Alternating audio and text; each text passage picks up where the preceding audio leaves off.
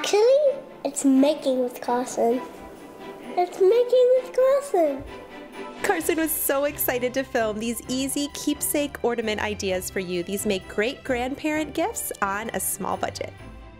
We're making that snowman's. Well, you make snowmans on, a, on one of these. We need these boxes. It's from Dollar Tree. And of course, these are from Tree. Snow Puffs. Snow Puffs. Snow Puffs. Lime Puffs.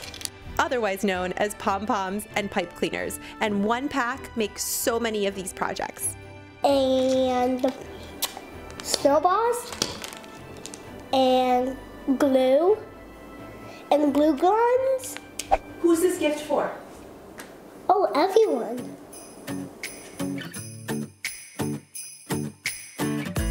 The first craft, paint your hand. What do you use to paint your hand? I don't know, I forget. Dollar Tree paint. Dollar Tree paint. What does it feel like? It's ridiculous. Squeeze it with your hand and let go. Then you made it. Looks like little people. You just went on them. Eye, mouth, hat, scarf. Oh, no what? What? So, so my two big fingers, they were, I'm doing it like that. So those were you guys hugging. Aw.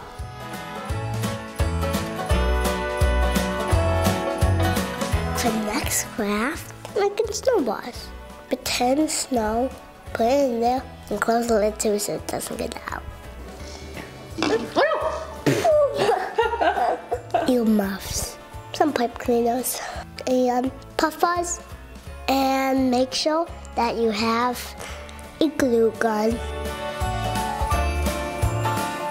Draw a face, And then what do you use for their nose? paint yellow and red.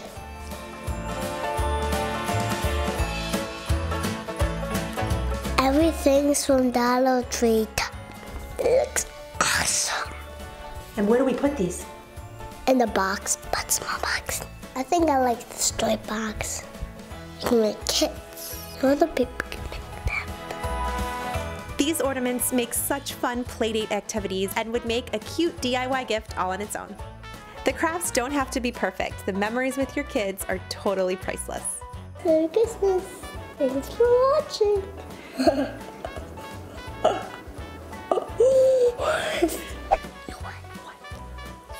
Today's Thanksgiving.